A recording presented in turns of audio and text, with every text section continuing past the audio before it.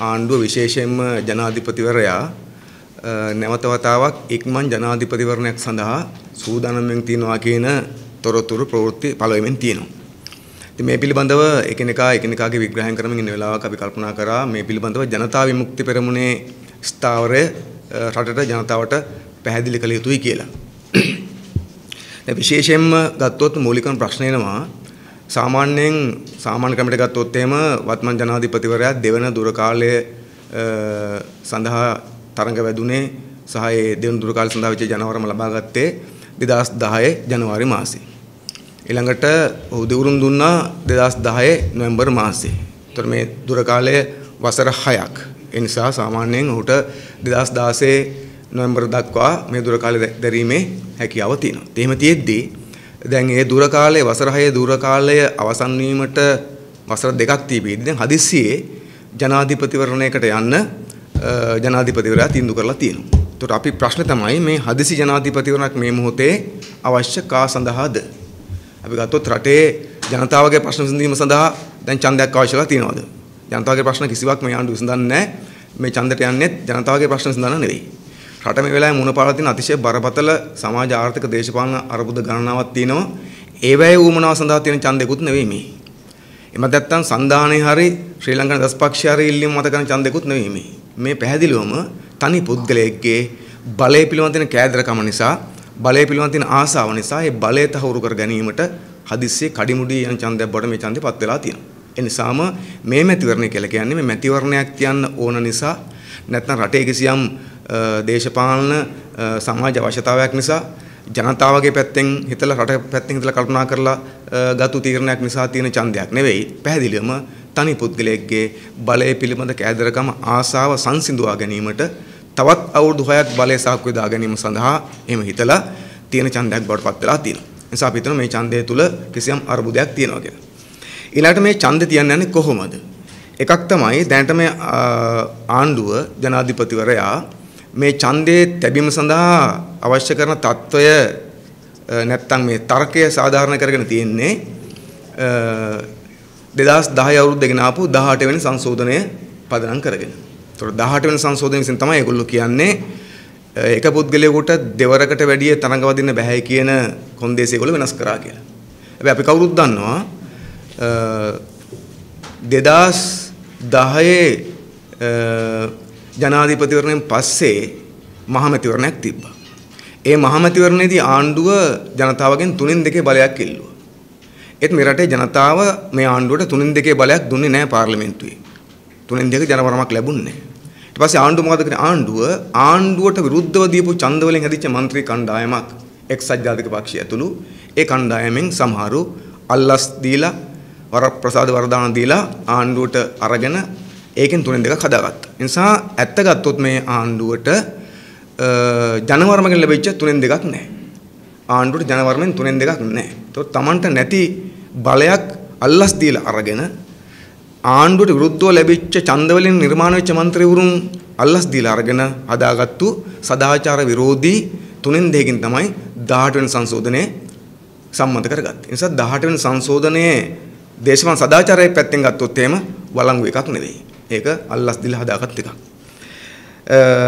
ඊළඟ කාරණේ තමයි මෙන්න මේ සදාචාර නොවන පාර්ලිමේන්තුවේ සදාචාර නොවන පාර්ලිමේන්තුවේ නැත්නම් මේ තුනෙන් දෙකේ ඇත්ත ජනවරමක් නැති පාර්ලිමේන්තුවේ සුජාත නොවන පාර්ලිමේන්තුවේ තුනෙන් දෙකේ බලෙන් හදාගත්තු ව්‍යවස්ථා සංශෝධනයේ විසිනුත් ජනාධිපතිවරයාට තුන්වෙනි වතාවට එල්ලීම සඳහා තියෙන ඉඩකඩ නැහැ කියලා තමයි අපි දකින්නේ. ඒසත් දැන් ඊට පැහැදිලිවම නීති ක්ෂේත්‍රයේ ඉන්න අය නීති ක්ෂේත්‍ර විශාරදීන් විශේෂයෙන්ම හිටපු අගමැතිතුමා ඇතුළු පිරිස් ඊට පැහැදිලිව කියනවා 18 වෙනි 18 වන ව්‍යවස්ථා සංශෝධනයෙන් පස්සෙත් පස්සෙත් මේ ජනාධිපතිවරයාට තුන්වෙනි වතාවට තරඟ කිරීම සඳහා වෙච්ච නීතිමය ප්‍රතිපාදනයක් නැහැ කියලා.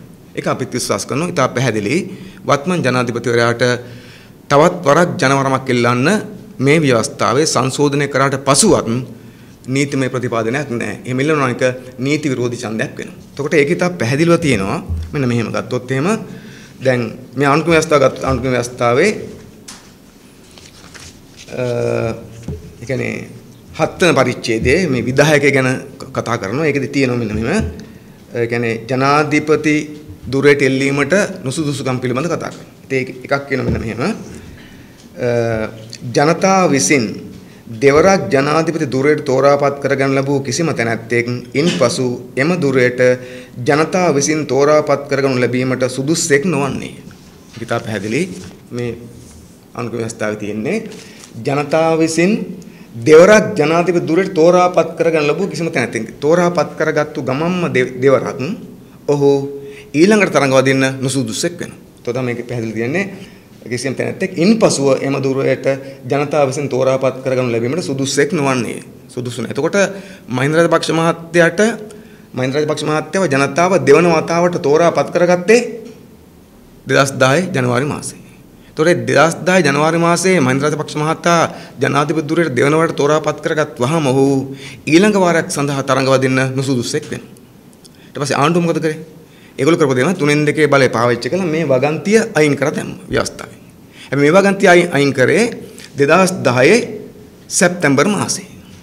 එතකොට මහින්ද රාජපක්ෂ මහතා නැවත වතාවක් ජනාධිපති ධුරයට තරඟ වැදීමට සුදුස්සෙක් නොවන්නේ 2010 ජනවාරි මාසයේ සිට. එතකොට ජනවාරි මාසයේ ඇතිවෙච්ච නුසුදුසුකමක් සැප්තැම්බර් මාසයේ ගෙනාපු ව්‍යවස්ථා සංශෝධනයකින් සූසු වෙන්නේ නැහැ. ඒ කියන්නේ අපේ රටේ නීතිය අතීතයට බලපාන්නේ නීතිය බලපාන්නේ වර්තමාන සිට අනාගතයට. විශේෂයෙන්ම ව්‍යවස්ථා නීති. ඒ නිසා මේ ව්‍යවස්ථාවෙන් මේ නුසුදුසුකම කියන එක ඉවත් කරන කොටත් මහින්ද රාජපක්ෂ මහත්තයා නැවත තරඟ වැදීමට සුදුසු නැති පුද්ගලෙක් වෙලා ඉවරයි. සෝට මේ මේ මේ සංශෝධනයෙන් පසුවත් මේ මේකට අනුව නැවත තරඟ වදින්න පුළුවන් කමක් නැහැ. ඒ විතරක් නෙවෙයි මේ ආණ්ඩුක්‍රම ව්‍යවස්ථාවම නැවත වතාවක් අපි ගත්තොත් එහෙම 14 වන පරිච්ඡේදයේ 14 වන පරිච්ඡේදයේ නැවතත් කියනවා මෙන්න මෙහෙම ජනාධිපතිවරයා වශයෙන් තෝරාපත් කරගන්න නුසුදුසුකම් කියලා ආයිත් වාක්‍යයක් තියෙනවා.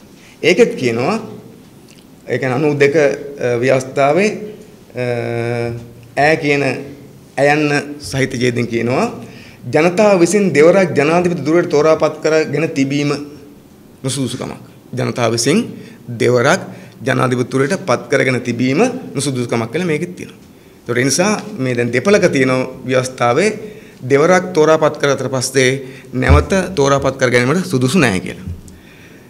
ඊළඟට මේක ඊට බරපතල කාරණා තමයි නැවත වතාවක් මේ ව්‍යවස්ථාවේ තියෙනවා ජයවර්ධන මහත්තයා ගෙනව මේ ආණ්ඩුක්‍රම ව්‍යවස්ථාවට සංශෝධනයක් තුන්වන සංශෝධනය කියලා. තුන්වන ආණ්ඩුක්‍රම සංශෝධනය. ඒතකොට මේ තුන්වන සංශෝධනයෙන් තමයි අර ජනාධිපතිවරයෙකුට තමන්ගේ පළමු දුර කාලයට වසර 4ක් පිරුණාට පස්සේ ජනවරමක් එල්ලන්න පුළුවන් කියන ඡේදෙම ඇතුළු කරේ. කලින් ව්‍යවස්ථාව තිබුණේ නැහැ. මේක පස්සේ ගෙනාපු එකක්. එතකොට ඒකේ ඒක තියෙන්නේ මෙහෙම. ඒක තියෙනවා මේ පරිච්ඡේදයේ ඊතෙන් වූ විධිදාන වලට පටහැනිව කුමක් සඳහන්ව ඇතද ජනාධිපතිවර විසින් ප්‍රකාශනයක් මගින් වැඩිදුර කාලයක් සඳහා තමා තෝරාපත් කර ගැනීමෙන් දුරේ දැරීම පිණිස වරමක් ලබා ගැනීම සඳහා ජනතාව ජනතාව වෙත ආයාචන කිරීමේ තම අභිලාෂය තම ප්‍රථම දුර කාලයේ ආරම්භ වී අවුරුදු 4ක් ඉක්ුතු වීමෙන් පසු යම් අවස්ථාවක ජනාධිපතිවරයා විසින් ප්‍රකාශ කරනු ලැබිය හැකියි. ඒ කියන්නේ තමන්ගේ ප්‍රථම දුර කාලයේ ගෙවිලා අවුරුදු 4කට පස්සේ ජනාධිපතිවරයාට දෙවන දුර කාලයක් සඳහා ජනතාවගෙන් ජරවණමක් ඉල්ලන්න පුළුවන්. මේක ඉතා පැහැදිලි තියෙනවා ප්‍රථම දුර කාලය ගෙවිලා ප්‍රථම දුර කාලයේ වසර 4ක් ගෙවුනට පස්සේ තමයි දෙවෙනි එකට ඉල්ලන්න පුළුවන්කම තියෙන්නේ කියලා. එතකොට ඒ ඒ ඉල්ලන්න පුළුවන් කියන එකේම තියෙනවා ඊළඟ පිටුවේ ඒ තම පැහැදිලිව ඈ යන්නේ එහෙම ඉල්ලලා දෙවෙනි වතාවට කෙසේම් කෙනෙක් ජනාධිපති වුණොත් ඊටපු කෙනාම ඒක කියනවා ඒ කියන්නේ මෙහෙම තියෙන්නේ. මේ ව්‍යවස්ථාව යටතේ පවත්වන ලද ඡන්ද විමසීමකදී ජනාධිපති රස තේරීපත් ඇත ප්‍රකාශ කරනු ලැබුත් තැනැත්තා. එවකට දුරේ ධර්ම සිටි ජනාධිපතිවරයා නම් ඒ ඡන්ද විමසීම පවත්වනු ලබන ලබන්නේ යම් වර්ෂයක යම් දිනයකදීද ඔහුගේ ප්‍රථම දුර කාලයේ ආරම්භ වූ දිනයට අනුරූප වන ඒ වර්ෂයේ දිනය හෝ ඊළඟට එළඹෙන වර්ෂයේ ඊට අනුරූප වන දිනය යන මේන් කලින් එළඹෙන දිනෙන් ආරම්භ වන අවුරුදු 6ක කාලයක් දුර දැරිය යුත්තේ කියලා. ඒක මේ ව්‍යවස්ථාවේ දැන් මේක වෙනස් කළා නෑ ඒගොල්ලෝ. මේකේ තියෙන මොකද්ද? ජනාධිපති කෙනෙකුට කිසියම් පුද්ගලයෙකුට ජනාධිපති වුණාට පස්සේ පළමු දුර කාලේ තියෙනවා එයාගේ. පළමු දුර කාලේ අවුරුදු 4ක් ගියාම ඔහුට ඉඩකඩක් තියෙනවා දෙවන දුර කාලයක් සඳහා ජනවරමක් ඉල්ලන්න. දෙවන දුර කාලයක් සඳහා ජනවරමක් ලැබුණොත් ඒ ජනාධිපතිවරයාටම ඔහු කලින් දිවුම් දීපු දිනයට අනුරූපව ඒ අවුරුද්දේ ඔහු ඊළඟ අවුරුද්දේ දිනයක දිවුරුම් දෙනවා. දිවුම් දුන්නාට පස්සේ ඒ දිවුරුම් දීපු දිනේ සිට වසර 6ක කාලයක් තනතුර දැරිය යුත්තේ කියලා මේක තියෙනවා. ඒතර ඒකේ නෑ දෙවෙනි වතාවටත් ආයි අවුරුදු 4 ක් ඉල්ලන්න පුළුවන් කියලා මේකේ නෑ. ඒ කියන්නේ ජනාධිපතිවරයාට දෙවන දුර කාලයක් සඳහා වසර 4කින් ඡන්දකට යන්න පුළුවන්කම තියෙන්නේ පළමු දුර කාලේ වසර 4ක් ගෙවුන විතරයි දෙවන දුර කාලේ වසර 6ම ගත කරන්න ඕන. මේක තමයි තා පැහැදිලි. ඒතර මේ ව්‍යවස්ථාව වෙනස් කරලා නැහැ. දැන් මේකට අනුව ප්‍රධාන ප්‍රශ්න තමයි එකක් ජනාධිපතිවරයා මේ දැන් ඡන්දයක් තියන්න හදනකොට මේ 18 වෙනි සංශෝධනය ගැන ව්‍යවස්ථාව වෙනස් කරගන්න කලින්ම තුන්වන වතාවකට තරඟ වැදීමට නුසුස්සෙක් වෙලා තියෙනවා. ඒසයි ඒක තා පැහැදිලි නීතියේ අපි රටේ නීතියට අනුව එයාට ඡන්ද ඉල්ලන්න බෑ. නමුත් ඒක නොසලකා ඡන්ද ඉල්ලන්න තීන්දුවක් ගත්තත් ඔව් ඡන්දේ තියන්න ඕනේ අවුරුදු 4න් නෙවෙයි අවුරුදු 6 පෙන්නට පස්සේ. මේක නම් කිසියෙත්ම දෙවන දුර කාලේ දෙවන දුර කාලේ වසර 4කින් පස්සේ ඡන්දයක් දෙන්න බෑ. මොකද මේකේ තියෙනවා දෙවන දුර කාලේ වසර 6ම ඔහු ගෙවිය යුතුයි කියලා. ඉතින් මේ මේ මේ කරුණ ඉතා බැලුවට පස්සේ ආණ්ඩුව මේ ලොකු පඹගාලක පැටලිලා මුළු රටත් මේ පඹගාලේ පටලන්න හදන්නේ. ජනාධිපතිවරයාට පුදුමාකාර ඕනකමක් තිබ්බ මේ රටේ ප්‍රශ්න කෝටියක් තියෙද්දි ඒ ඔක්කොම පැත්තක දාලා තමන්ගේ බලය පවුලේ බලය සදාකල් කරගන්න කටයුතු කරන්න. ඒ නිසා තමන්ට නොලැබිච්ච ජනවරමක් අල්ලස් දීලා අරගෙන කලබලේ කඩිමුඩියේ රටේ වෙන කිසි ප්‍රශ්නයක් විසඳන්න ව්‍යවස්ථා සංශෝධන ගේන්නේ නැති ජනාධිපතිවරයා තමන්ගේ බලය දියු කරගන්න ඊටාම නරකම ජනාධිපතිවරයෙක් වෙච්ච ජේ.ආර්. ජයවර්ධන මහතා පව හදපු සීමාව පැනලා ගිහිල්ලා සදාකල් බලයෙන් හිතාගෙන සංශෝධනයක් ගෙනාවා. මේ සංශෝධනය කොතරම් කලබලයේ කඩිමුඩියේ දුරදකිතන්තු ගෙනාවද කිව්වොත් එහෙම ඒ සංශෝධනය ගැන තියෙන්නේ මේ සියලු දේවල් කියවලා බලන්නේ කලබලේ. ඒ නිසා වෙනස් කළ යුතු සිල් වෙනස් කරලා නැහැ. ඉතින් මේ தත්ත්වය මත අනිවාර්යයෙන්ම මේ මේ දැන් තියෙන ව්‍යවස්ථාවට අනුව මහින්ද රාජපක්ෂ මහතාට තුන්වෙනි වතාවක් තනගව දෙන්න බෑ ඒක නීති විරෝධී.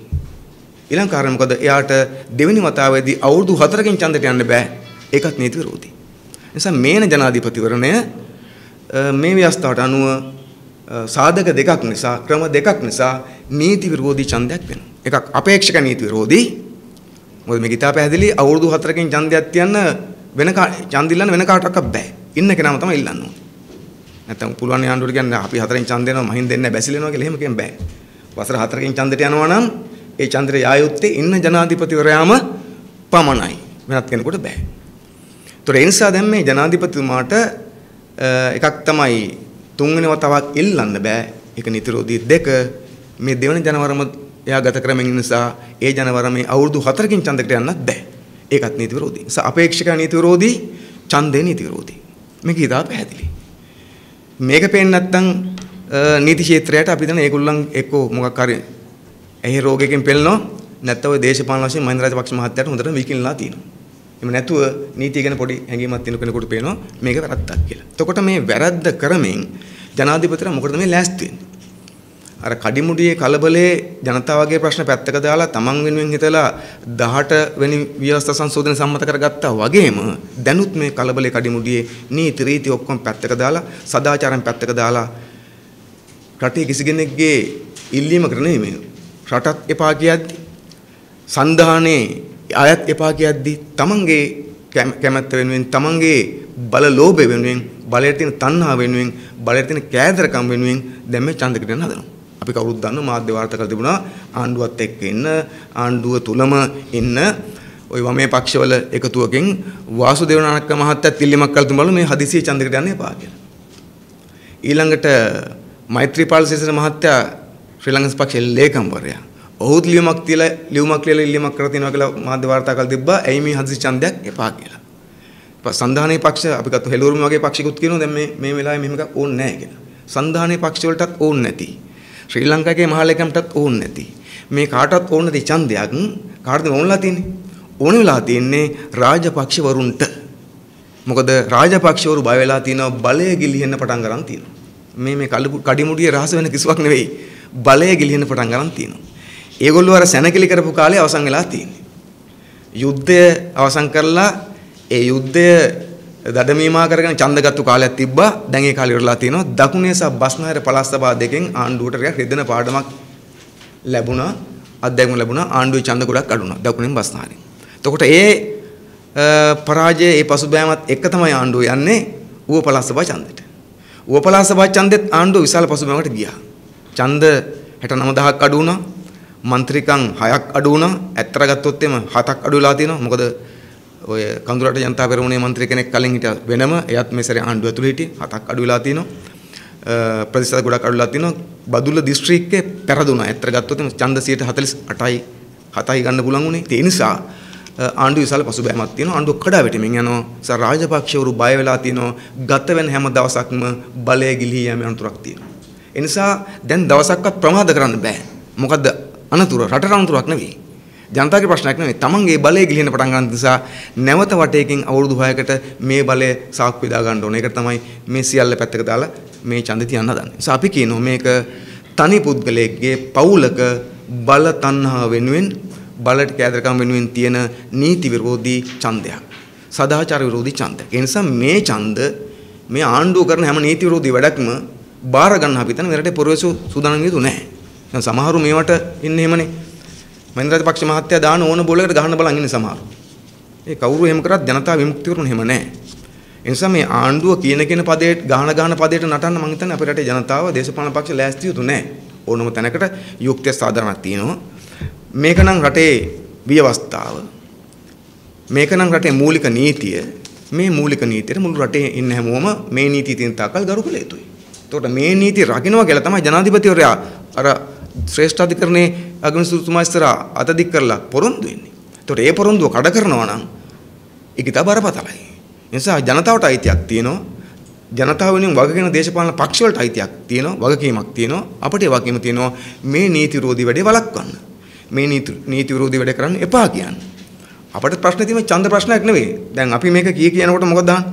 දැන් මේක කියනකොට ආණ්ඩුවානෝ මේ ඇයි මහින්දට බයද කියලා. ජනතා විමුක්ති පෙරමුණ මහින්දට බයත් නැහැ, ඡන්ද වලට බයත් නැහැ. ජනතා විමුක්තින කවදාකවත් ඡන්ද වලට බය වෙලා නැහැ. ප්‍රතිඵලය මොකක් වුණත් අපි සටන් කරනවා. අපි මහින්ද රාජපක්ෂ මහත්තයට බයත් නැහැ. මහින්ද රාජපක්ෂ මහත්තයා නෙවෙයි. අපි ජයවර්ධන මහත්තයට බය වුණෙත් නැහැ. හයෙන් පහක බලයක් තිබිච්ච විධායකම නිර්මාණය කරගත්තු ජනාධිපතිකම කරන කාලේ ජයවර්ධන මහත්තයා ජේ.ආර්. ජයවර්ධන මහත්තයා අපි බය වුණේ නැහැ. ජයවර්ධන මහත්තයාට ඉතින් නිසා ජේ.ආර්. ජයවර්ධන මහත්තයාට බය නොවිච්ච ජනතා විමුක්ති පෙරමුණට මහින්ද රාජපක්ෂ මහත්තයා කිසිම විදිහක මේ අභියෝගයක් හෝ බයක් නෙවෙයි. අපේ ප්‍රශ්න තියෙන්නේ හැබැයි අපේ රටේ ජනතාව බය වෙන්න ඕනේ නැද්ද?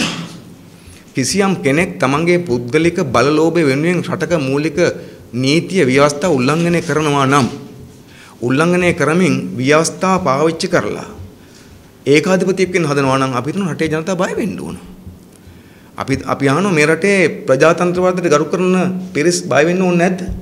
ප්‍රජාතන්ත්‍රවාදයට ගරු කරන කවුරු හරි ඉන්නවා නම් ඒ අය බය වෙන්න ඕනේ මොකද මේ හදන්නේ නීති රීති පැත්තක දාලා ව්‍යවස්ථා උල්ලංඝනය කරලා තමන් අතර බලය ගන්න. ජනතාව වෙනුවෙන් නෙවෙයි. ඒ නිසා ඒකට බය වෙන්න ඕනේ. අපි කියනවා ජනතාව විමුක්ති කරුණ අපි බය නැහැ. හැබැයි අපි හිතන රටේ ජනතාව බය වෙන්න ඕන මේ හැදෙන්න යන ඒකාධිපතියෙක්. නීති නොසලකන කෙනෙක්. නීති වලට ගරු කරන්නේ නැති කෙනෙක්. දැන් කල්පනා කරලා බලන්න අපි දැන් මේ මහින්ද රාජපක්ෂ මහත්තයාගේ පාලනය දැන් මේ තමන්ගේ මුළු පාලන කාලයම ස්ටයිල් එක වෙලා තියෙන නැත්තම් මේ මෝස්තර වෙලා තියෙන මොකද්ද? නීති නොසලකා වැඩ කිරීම. නීති රීති නැහැ. උසාවිය අදාළ නැහැ. විධායක බලය තියෙනවා. ඒක අතේ තියාගෙන ඒක පාවිච්චි කරලා නීති සියල්ල පැත්තක දාලා වැඩ කරනවා. නීති කැඩීම මෝස්තරයක් වෙලා. නීති කැඩීම ඇබ්බැහියක් වෙලා. නීති කැඩීම දැන් නොකර ඉන්න බැරි එකක් බවට පත් වෙලා තියෙන නිසා හැමදාම අපි දකින්නේ මොකද රටේ කිසි නීතියක් සලකන්නේ රකින්නේ හැම නීතිම කරනවා. මැතිවරණ තියනකො. මැතිවරණ නීති අමු අමු උල්ලංඝනය කරනවා. රාජපක්ෂවරු. දැන් අපේ රටේ අපේ රටේ තියෙනවා මැතිවරණ නීතිය තියෙනවා රජයේ නිලධාරීන්ට මැතිවරණ වලට යන්න බෑ. හැබැයි ගෝඨාභය රාජපක්ෂ මහත්තයා ප්‍රසිද්ධිය නගිනවා මැතිවරණ වේදිකාවල. ඉතින් නීති කඩනවා. කවුද? දඬුවම් කරන කෙනෙක් නෑ, අහන්න කෙනෙක් නෑ. මැතිවරණ නීති උල්ලංඝනය කිරීම කෙලවරක් නෑ. පෞද්ගලික පළාත් සභා ඡන්දෙත් එහෙමයි. නිසා මුළු රටේ මැතිවරණ නීතියත් කඩනවා. අනිත් නීතිත් කඩනවා, සිවිල් නීතිත් කඩනවා. නිසා නීති කඩමින් රට පාලනය කිරීම මේ ආණ්ඩුවේ මෝස්තරේ බවට පත් වෙලා තිනවා. ඉතින් ඒ සීළු නීති කඩලා කඩලා දැන් අන්තිමට එක්කිනකොද ව්‍යවස්ථාවට මූලික නීතියට මේක රකින්නේ බැඳලා ඉන්නේ. ජනතාවගේ ජනවරම තියනවා කියලා කියන්නේ මේකටනේ. ඉතින් මේක මේක කඩන හදනවා අපි හිතනවා ඒක ඉතා බරපතලයි. එනිසා ජනතා විමුක්ති පෙරමුණේ අපට ප්‍රශ්න නෙමෙයි අදිති ජනාධිපතිවරණයක් වෙනවා ඒකට කරන්න දෙයක් කියන ප්‍රශ්න නෙවෙයි අපි හිතන කවුරුවක්වත් ඒකෙම ලඝු කරන්න එපා අපිට කරන්න දේවල් තියෙනවා අපි කරන්න තියෙන දේවල් වෙලාවට කරන්නම් නමුත් අපි කියන්නේ දැන් ප්‍රශ්න එක නෙවෙයි මෙතන මේ නීති විරෝධී ඡන්දයක් තියන්න යනවා අපේ රටේ මූලික නීති උල්ලංඝනය කරලා තියෙනවා එතකොට අපේ රටේ පළවෙනි පොරවැසියා ජනාධිපතිවරයා අපේ රටේ මූලික නීති උල්ලංඝනය කරනවා නම් ඒක නොසලකා ඒකට ඉඩ දීලා අතපය බැඳගෙන කටවල් වහගෙන ඉන්න අපට පුළුවන්කමක් නැහැ. කවුරු එහෙම හිටියත් අපි ඊට වාගේම කියනවා ජනතා විමුක්ති පෙරමුණේ අපි එහෙම ඉන්නේ නැහැ. මහින්ද රාජපක්ෂ මහතා අනිවාර්යයෙන්ම එයා බලේ ඉන්න ආස වුණාට අපිට කමක් නැහැ. හැබැයි ඒක අපි කියන්නේ මොකද අර ඒකට නීත්‍ය අනුකූල පාරක එන්න. නීත්‍ය අනුකූල පාරක එන්න. කිසි ප්‍රශ්නයක් නැහැනේ. එහෙම දිනා ගන්න පුළුවන් නම් ඒත් කමක් නැහැ. හැබැයි ඒකට ව්‍යවස්ථා උල්ලංඝනය කරන්න එපා. ඒකට නීති කඩන්න එපා. නීති විරෝධී වැඩ කරන්න එපා. නීති විරෝධී ඡන්ද වලට එන්න එපා. නීත්‍ය අනුකූල මාර්ගයක ඇවිල්ලා බලය ගත්තට කමක් නැහැ. ඕන්න නැති දැන් පුළුවන් ඕන්නම් පාර්ලිමේන්තුව තුනෙන් දෙක තියෙනවා. ඒ නිසා ඕන්නම් පුළුවන් ආයි මේ තියෙන අඩුපාඩුකම් ටික ඔක්කොම හරියන જાති සංශෝධනයක් ගන්න මොකක් කර කරලා එන්න පුළුවන් නේ. එහෙම එන්න. නමුත් මේ තියෙන தත්ත්වෙ මත යට එන්න අයිතියක් නැහැ දැන්. ඒ නිසා අපි කියන්නේ එහෙම එන්න එපා. ඒක මේ මහින්ද රාජපක්ෂ මහතා පිළිබඳ ප්‍රශ්නයක් නෙවෙයි. අපේ රටේ නීතිය සම්බන්ධ ප්‍රශ්නයක් නිසා අපි තා පැහැදිලිව කියනවා මේ මේක මෙහෙම තිබිය යුතු නැහැ කියලා. ඒ නිසා අපි කියන්නේ මේ අපි ඉදිරිපත් කරන තර්කය වැරදි පැත්තට ගන්නවා නම් ඒක හොඳ නැහැ. දැන් ඔය ජනතා විමුක්ති පෙරමුණේ අපි පෞදස්සල මේ සටන පටන් ගන්න අපි පෝස්ට් එකක් ගැව්වා මහින්දට තුන් වරක් බෑ කියලා. එතකොට මහින්ද රාජපක්ෂ මහත්තයා ඒකට උත්තර දුන්නේ කොහොමද? එයා ඒකට උත්තර දුන්නේ තුන් වරක් පුළුවන් කියලා නෙවෙයි. එයා ඒකට ආවේ වෙන පැත්තෙන්. අපි දැක පෝස්ට් එකක් ගහලා තුන තැන් තැන් වල මේ මහින්දට මෙච්චර බය ඇයි කියලා. ඒකෙන් පේනවා ප්‍රශ්නය ප්‍රශ්නේ ඇත්ත පදනම අල්ලන්නේ නැහැ. ඒක ගන්නෑ. ඒක ගන්න තු අහනවා අපෙන් ඇයි බයද කියලා. අපි ප්‍රශ්නේ ඒක අහන්න එහෙම නෙවෙයි. ඇයි මට තුන් වරක් බැරි මෙන්න මේ මේ හේතු නිසා තුන් වරක් පුළුවන් කියලා පෙන්වන්න එපා. ඒකට කතා කරන්න එන්නේ නැහැ. එහෙම කතා කරන්න එන්නේ අර නඩු නැති උසාවි වල වේලි වේලි ඉන්න තර්කයක් ගොඩනගන්න බැරි ඔය මේ මේ නිකන් සාමාන්‍යයෙන් නිකන් නීතිඥයෝ කීප දෙනෙක් දාගෙන තමයි එන්නේ මේ තර්කය හදන්න. හැබැයි අපේ රටේ නීති පිළිබඳ හොඳම දැනුමක් තියෙන ශ්‍රේෂ්ඨ අධිකරණ හිටපු අගමැතිතුමා තවත් නිශ්චිත විශාරද ඒගොල්ලෝ ඔක්කොම පැහැදිලි කරනවා මේ මේ ව්‍යවස්ථාවට අනුව මේක බෑ කියලා. ඒ නිසා දැන් මේ තියෙන්නේ අර අර බොරු කර කර බොරු කර කර මේ ප්‍රශ්නය ප්‍රශ්නෙන් පැනලා යන්න සූදානම් වීම අපි කියන්නේ ඒක හොඳ නෑ කියලා. කියන්නේ අපෙන් අපි කිව්වම තුන් වරක් බෑ කියලා අපෙන් අහනවනේ ඇයි බයද කියලා. ඒ අහන්නේ ප්‍රශ්නෙන් පැනලා යන්න. අපි කියනවා අපි බය නෑ. හැබැයි අපිට ලැජ්ජයි. ඔයා මේ කරන වැඩේ. සමහින් රාජපක්ෂ මහත්තයා නීතිය කඩනව නම් ඒක ලැජ්ජයි කැතයි. ඒක රටට ලැජ්ජයි. ජනාධිපතිවරට ලැජ්ජයි. ලැජ්ජ වෙන්න ඕන ලැජ්ජාව තියෙනවා නම්. කැතයි මේක. ඒ නිසා අපි කියන්නේ මේ බය ප්‍රශ්නයක් නෙවෙයි තියෙන්නේ. ඉතින් මේ වගේ ලැජ්ජ නැති වැඩ කරන්න එපා. මේ වගේ කැත වැඩ කරන්න එපා කියලා අපි කියන්නේ. දිනන්න මේ මේ බලයට ආසාව තියෙනවා නම් ඉතින් ඒකට නීති අනුකූල ක්‍රමයක් හදාගෙන ඉන්න ඕනකම තියෙනවා. මේ නිසා මේ ප්‍රශ්නය අපි දකින්න ඊටාම බරපතල ප්‍රශ්නයක් හැටියට ආණ්ඩුව මේ කරන සෙල්ලමට අපි ඉඩ දිය යුතු නැහැ. ඉතින් මේකේ ඊළඟ කාරණා තමයි අපේ රටේ සමහර දේශපාලන පක්ෂ ඉන්නවා මේ ඒගොල්ලෝ දේශපාලනය කරන්නේ මේ මහ පොළොවේ තියෙන දේශපාලනත් එක්ක නෙවෙයි. ඔළුවේ හදාගත්තු දේශපාලන කෙනෙක් දේශපාලන කරන්නේ. ඒ නිසා මහින්ද රාජපක්ෂ මහත්මයා මොකද්ද කියන්නේ කීන ඕන එකට ලෑස්ති වෙච්ච කට්ටියක් ඉන්නවා. ඉතින් අපි හිතනවා ඒක නෙවෙයි දැන් වෙන්න ඕනකම තියෙන්නේ. දැන් වෙන්න ඕනකම තියෙන්නේ ඊටා පැහැදිලිවම අපේ රට ඇතුලේ ඊටා නරක පූර්වාදර්ශයක් දෙන්න මේ හදන්නේ.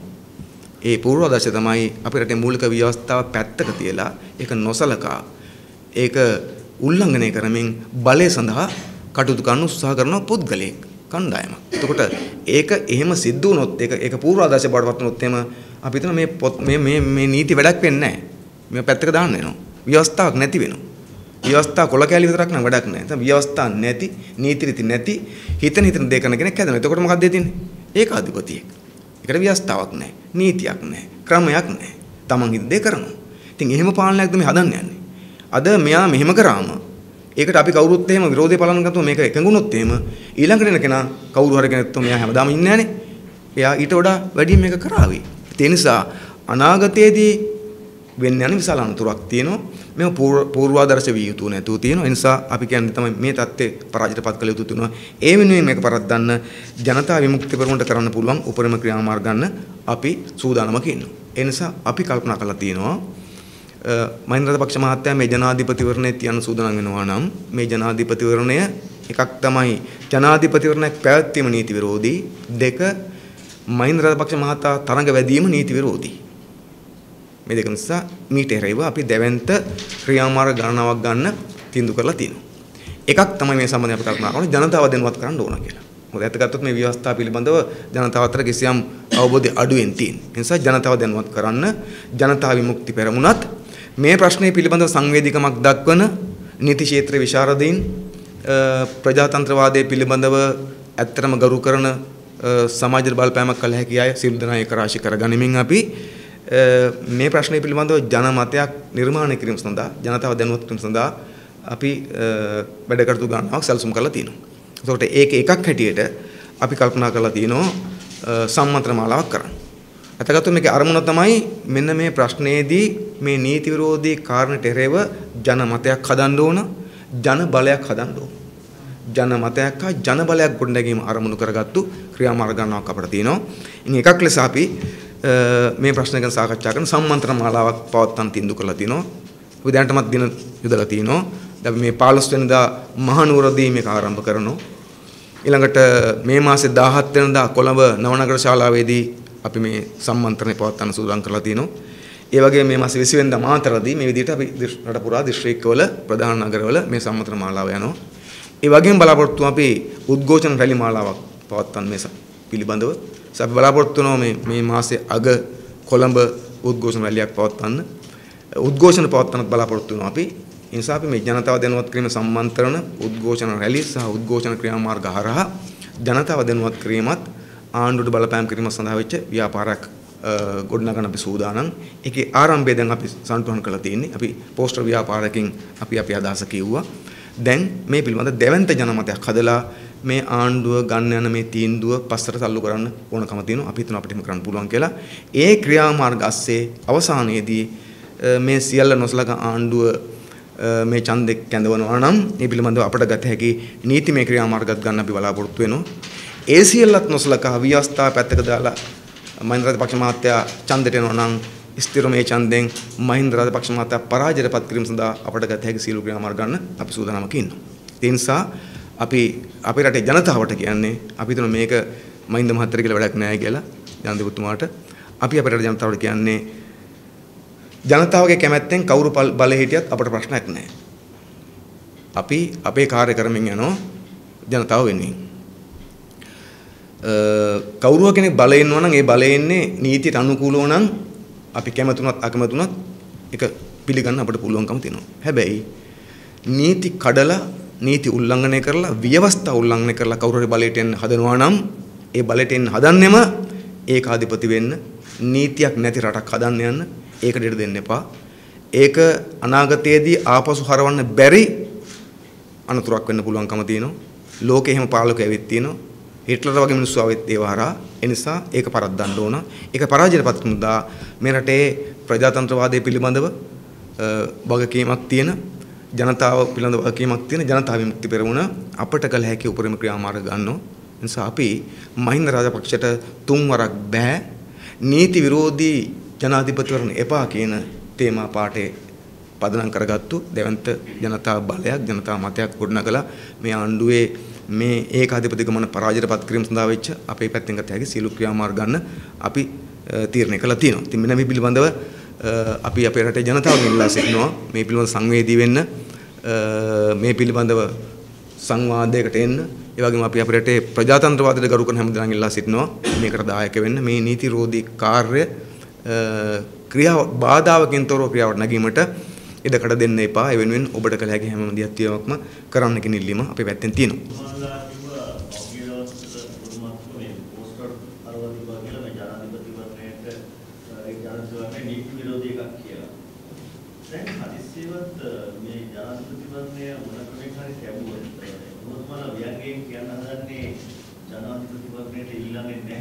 නේ අපි මේ කිසිවක් වියන්ගෙන් නම් කියන්නේ අපි කියන දේ කෙලින් කියනවා. දැන් කෙලින් කියනවනේ මහින්ද මහත්තයාගේ මූණටම ඔයාලට මේක ඉල්ලන්න බෑ කියලා. දැන් ප්‍රශ්නේ තියෙන්නේ අපි දකිනවා මේ ජනාධිපතිවරණ නීත්‍යානුකූල ජනාධිපතිවරණයක් නම් දැන් අපි කළ යුතු තියෙන්නේ මොකද්ද? ඒ ජනාධිපතිවරණ තරඟ වදින්නේ කොහොමද කියලා ප්‍රකාශයටපත් කරන්න ඕන අපි. ඒක නේ අපිට දෙගිරියාවක් නැහැ. මීට කලින් හැම ඡන්දකම අපි ඒක කල්ැතුම් කිව්වා. ඔබට මතක නම් 1982 පළවෙනි ජනාධිපතිවරු ලංකාවේ ඒ කාපෙලත් අපි අපි උත්සාහ කළා පොදු අපේක්ෂයක් ගේන්න. ඒ උත්සාහය සාතු වුණා අපි කිව්වා අපි ඉල්ලනවා. සා රෝහණ විජේර සහෝදරයා ජනාධිපති අපේක්ෂා ලෙස ඉදිරිපත් වුණා 82. ඊට පස්සේ 88 අපි පක්ෂ දහනම් කරලා.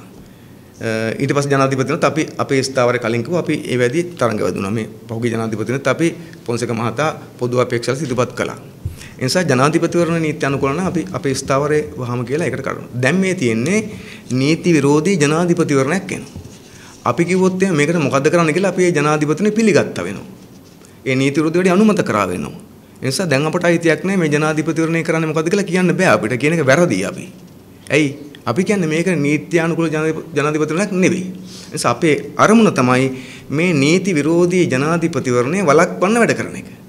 හැබැයි ඒක වළක්වන්න වැඩ කරාට පස්සේ ඒකත් නොසලකා ආණ්ඩුව ඡන්දේ තියෙනවා නම් අන්නේ ඡන්දේ තියෙන වෙලාවට ඒ තියෙන දේශපාලන තත්ත්වයේ සීලු කාරණා සලකා බලලා මහින්ද රාජපක්ෂ මහතා පරාජයටපත් කළ යුතුයි.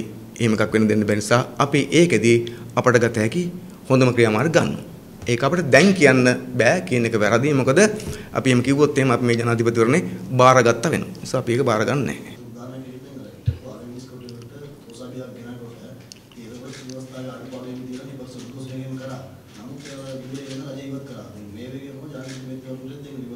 ප්‍රශ්නයක් එනවා.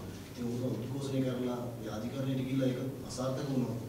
ඊට පස්සේ මම අර පරද්දට විපක්ෂයට පොදු අපේක්ෂකෙන් ඉදිරිපත් කරන සායදෙයි. ඒක තමයි අපි දැන් අපිට ඒ ගැන යමක් කියන එක වැරදිනේ. දැන් මේක මොකක් හරි කිව්ව ගමන් අපි මේ අනාගතයේ මතුවෙන දේශපාලන තත්ත්වයකදී ගන්න ඕන තීරණය දැන් කිව්වොත් එහෙම ඒක වැරදි අසම්පූර්ණයි. ඒකෙන් මේ අපි කරන සටන සම්පූර්ණයෙන්ම වෙන පැත්තකට යනවා. ඔබ කිව්ව එක හරි. මේ ආණ්ඩුවේ ස්ටයිල් එක තමයි නීති නීති නොසලකා වැඩ කරන එක. නිසා හිටපු අගමනස්තු මිනිසුතුම ඉවත් කිරීමේදීත් නීති රීති ගොඩක් නොසලකා වැඩ කරා. එතකොට මේකත් කරන්න එහෙමයි. මේකට වඩා බරපතලයි. නිසා අපි කියන්නේ මේ සඳහා අපි දෙවන්ත ජන ජනමතයක් හදන්න ඕන. ජනබලයක් ගොඩනගන ගොඩනගලා මහින්ද රාජපක්ෂ මහතා මේ නීතිරෝධී වැඩේ කරන්න දරන උත්සාහයෙන් වළක්වන්න ඕන. ඒ වළක්වන්න කරන උත්සාහය අසාර්ථක වුණාට පස්සේ අපි දෙවන්ත උද්ඝෝෂණ ව්‍යාපාරයක් කරලා නිර්මාණ වෙනම දේශපාලන තත්ත්වයක් තියෙනවා. ඒ දේශපාලන තත්ත්වය තුල අපි අනිවාර්යයෙන්ම අපේ දේශපාලන ක්‍රියාමාර්ගය ගන්නව මොකද කරන්න කියලා ඒකේ අරමුණ තමයි මේ මේ නීති විරෝධී ජනාධිපතිවරුන්දී නීති විරෝධී අපේක්ෂකයා පරාජයටපත් කළ හැකි හොඳම ක්‍රියාමාර්ග ගන්න අපි සූදානම්. ඒක කලින් කියන්න බෑ මොකද කලින් කියන එක නිවැරදි නැති නිසා. මේක සාර්ථක කරගෙන නැත්නම් අපේ අරමුණ. ඔව් මොකද මේ අපි මොකක් හරි අපිට එකක් තියන් මේ හංගම් කතා කරනව නෙවෙයි. මොකද අපේ අරමුණම තමයි මේ ජනාධිපතිනි වැරදි. එනිසා මේ වැරදි ජනාධිපතිවරණේ වළක්වන්න වැඩ කරනවා මිස වැරදි ජනාධිපතිවරණේ බාරගෙන ඒකට මොකද කරන්න කියලා හිතන එකම අපි මහින්ද රාජපක්ෂ මහත්තයාගේ වැරද්දට අනියමෙන් හෝ දායක වෙලා දායක වුණා වෙනවා එහෙම වුණොත් එනවා. අපි කියන්නේ මහින්ද මහත්තයා කරන වැරද්දට අපිට අනියමෙන්වත් දායක වෙන්න අයිතියක් නැහැ. අපි කරන්න ඕන කම තියෙන්නේ මේක රටටත් කියලා ලෝකෙටත් කියලා හැමෝටම කියලා මේක වැරදි කියලා තහවුරු කරලා පස්සට තල්ලු කරන්න. අපි හිතන එකට අවස්ථාවක් නැතුව නෙවෙයි කියලා. ඇයි? දැන් මේ මැතිවරණේ අනිවාර්යයක් නෙවෙයිනේ. මේන ජනාධිපතිවරණේ අනිවාර්යයක් නෙවෙයි. ජනාධිපතිනක් තියන්න නැතුව තව අවුරුදු දෙකක් යන්න පුළුවන්කම තියෙනවා. මේ මේ මහින්ද මහත්තයා කැමැත්ත නෙමෙයි. ව්‍යස්ත ප්‍රශ්නයක් නෙමෙයිනේ. ඒ නිසා මේ ජනාධිපතිවරණ තියන්නේ මහින්ද රාජපක්ෂ මහත්තයා මොකක් සඳහාද? දිනන්නනේ. පැහැදිලිද? දිනන්නේ මේ තියන්නේ දැන් ව්‍යස්තයම ජනාධිපතිවරණයක් තියන සිද්ධ වෙලා නම් ඒක වෙනම කතන්දරයක්. දැන් මෙහෙම නෙවෙයි ජනාධිපතිවරණයක් නැති වෙලාවක තියන්නේ යනවා. ඒ නිසා අපි හිතනවා මේ දෙවන්ති ජනතා බලයක් නිර්මාණය වුණොතින් මහින්ද රාජපක්ෂ මහත්තයා අඩු ගානේ ඊළඟ අවුරුදු දෙකවත් ඉන්න හිත හදාගෙන පස්සට යන බැරි ගමකුත් නැතුව නොවේ. ඉතින් ඒක දැන් තීන්දුව කරන්න බෑ. ඒක තීරණය වෙන්නේ අපි නිර්මාණය කරන ජනතා බලයත් ඒකට ජනාධිපතිවරක පැත්තෙන් දක්වන ප්‍රතිචාරයත් එක්ක. අපි ඒකට බැහැලා ඒ වැඩේ කරන් යමු. ඒ වැඩේ අවසානයේදී මතුවෙන தත්ත්වය තුල අපි අපේ ඊළඟ ක්‍රියාමාර්ගයට යනවා. දෙවෙනි ක්‍රියාමාර්ගයේ පළවෙනියෙන් ගත්තම පළවෙනි ක්‍රියාමාර්ග සාර්ථක කරගන්න බැරි වෙනව නිසා අපි ඒක එහෙම තමයි හිතන්නේ. එහෙනම් ඉතින් අර නීති නීති විරෝධ නීතිවරණයක් නම් ඉතින් ඒක වර්ජනය කරන්නට කැමරට යන්න පුළුවන්. බලමු අපි එදාට තීරණය කරමු නේ. අපි කියන්නේ ක්‍රියාමාර්ගය ක්‍රියා ඒ කියන්නේ අපි ජනාධිපතිවරණය ප්‍රකාශයට පත් කරාම කරන දේවල් ටිකක් තියෙනවානේ. ඒකේ වෙලට හිතමු. දැන් හිතන්න ඕන කම තියෙන ජනාධිපතිවරණය ප්‍රකාශයට පත් කරන එක වළක්වන්න ඕන. ඒකට පුළුවන් හොඳම දේ තමයි දැන් මේක නීති විරෝධී කියන මේ මතේ අරන් යන. දැන් අපේ රටේ හුඟ දෙනෙක් මේ මේ මේ වගන්ති අරන් මේ දන්නේ නැහනේ. දැන් මේක සමහර ඒවා ඉවත් කරලා තියෙනවා. සමහර ඉවත් කරලා නැතුව තියෙනවා. එතකොට ඒ පිළිබඳව අපි විතරක් නෙවෙයි. මේ රටේ නීති ක්ෂේත්‍ර විශාරදීන් නීති දන්න උදවිය ජනතාවත් එක්ක සංවාදයක් ආරම්භ කරොත් එහෙම අපි හිතනවා පාලකයෙකුට ලේසි නෑ කියලා ඒක නොසලකා යන්න. ඒ නිසා ඒ ඒ සංවාදය හදමු. අඩු ගානේ නීති කඩලා මේ ඡන්දේ තිබ්බත් රටේ ජනතාව තේරුම් ගන්න ඕන මේ ඡන්දේ තියන්නේ නීතියක් උල්ලංඝනය කරමින් කියලා අපි හිතනවා ඒ වෙනි ඡන්දයකදී මහින්ද රාජපක්ෂ මහත්තයා බලාපොරොත්තු වන ප්‍රතිඵල නොලැබෙන්න පුළුවන් කියලා. ඉතින් ඒ වෙනුවෙන් තමයි මේක ඊයේ කියනෝජි මේ උස්රේ නායකතුමා කියලා දෙනවා අර ඩෙවිලියම් කියන අර ප්‍රතිපත්තියේ DNA ඩයස්පොරා අදාළ කරනවා නම් එක්සිකියුටිව් ප්‍රෙසිඩන්ට් ක්‍රමය අවශ්‍ය කරනවා කියලා. මේ ප්‍රකාශය සහ මෙහෙමනේ අර අර කතාවක් තියෙනවා මොකද අර කිරුල් ගහට නැග්ග මිනිස්සයාටත් කියන්න දෙයක් තිබ්බා කියලා. දැන් මේ මේ ජනාධිපතිවරයා 2005 දී ජනතා විමුක්ති පෙරමුණට රටට මේ මේ මේ එකඟ වුණා පොරොන්දු වුණා විධායක ක්‍රමයේ හවුස් කරනවා කියලා තමන්ගේ පළමු දුර කාලේ නිමා වෙන්න ඉස්සෙල්ලා. එතකොට ඔය කතාව මොකද? එතකොට ඇත්තරම මේ දෙමළ ඊළමක් සඳහා වෙච්ච මේ යුද්ධේ පවතිද්දී ඉතින් ඒ වෙලේ කරෙත් නැති දැනුත් කරන්නේ නැති ජනාධිපතිවරයා මේ මේ තමන් විසින් නොකරන කාර්ය නොකිරීම සාධාරණ කරගන්න අර වගේ කතාවක් කියනවා. නිසා ඒකෙන් පේන්නේ ඊට පැහැදිලි ජනාධිපතිවරයා මේ විධායක ක්‍රමය අහෝසි කරන්නේ නැහැ. මොකද කවුරුවක්වත් අරග කියන්නේ නැහනේ. කවුද කියන්න ඕන ගම තියෙන්නේ? ජනාධිපතිතුමා කාටද ඔය කිව්වේ? අපි අහනවා. අපි අහන ජනාධිපතිතුමා ඔයා කාටද මේ කතාව කිව්වේ? එක්ක පුද්ගලයෙක් ඉලක්ක කරන නැත්නම් සංවිධාන සංවිධානය කරන ඕගොල්ලන්ගේ සංවිධානය කියන්න මෙහෙමයි එතකොට මම මෙහෙම කරනවා. සංවිධානයකුත් නැහැ. පුද්ගලයෙකුත් නැහැ. නිකන් සංකල්පයක් කියනවා දෙමළීලාම අරගලේ අත්තරනවා නම් මම මේක අත්තරන්නේ කියලා. ඉතින් කවුද අත්තරින්න ඕනේ? දැන් කවුද එවනේ පෙනී ඉන්නේ? එහෙනම් කියන්න කවුද කවුරු සංවිධානයක් නම් කරලා? ඉතින් ඒකනේ අපි අපි යන්නේත් එක තමයි. දැන් කවුද මේක උස්සගෙන ඉන්නේ? කවුද මේකෙන් පෙනී ඉන්නේ? ඉතින් මයින්ද මට කියන්න එපා. ජනාධිපතිතුමා කියන්න එපා. අන්න අහවල්ලු පෙනී ඉන්නෝ දෙමළීලන් අරගලේ වෙනුවෙන් ඒක ඒගොල්ලෝ ඇත්තරියොත් මම මේක අත්තරනවා. එහෙම නෙමෙයි. නිකන් අර කාටවත් අයිති නැති එකක් කියලා ඒක ඒක අස්සේ හැංගෙන්න හදනවා. මේ හදන්නේ මේ හදන්නේ මේ නිකන් පොදු සංකල්ප ජනතාව දැන් ජනතාව කල්පනා කරන ආ ඒක ඇත්තනේ ඊළම් ඊළම් උත්සාහයක් තියෙනවා නම් ජනාධිපති ඉන්න ඕන කියලා මේ තර්කය හදාගන්න මේ උත්සාහ කරමින් ඉන්නේ. ඒ නිසා ඊළම් පරද්දන්න ජනාධිපති ක්‍රමයක් ඕනේ නැහනේ. නැතත් පරද්දන්න පුළුවන් නේ. ඒක නෙමෙයි ප්‍රශ්න තියෙන්නේ. දැන් මේ හදන්නේ මේ ජනාධිපති බලය දිගටම තියාගන්නයි ඒ ජනාධිපති බලය දිගටම තමන්ට සහ පවුලට තියාගන්නයි. මේ වැරදි දෙකක් මෙතන. එකක් විධායක ක්‍රමේ තියාගන්න හදනවා. දෙක තමයි ඒක තියාගන්න හදන්නේ කරද? තමන්ටයි තමන්ගේ පවුලටයි. ඉතින් ඒක වහගන්න ඔය නොඑක් නොඑක් කතා කියනවා. අතන ඒක නම් ඒව නම් එතරම් ගණන් ගන්න ඕනේ. මත ජනාධිපතිවරයෙක් කරන්න ඕනේ නැති බාල වර්ගයේ කතා දැන් ඔය තියෙන්නේ.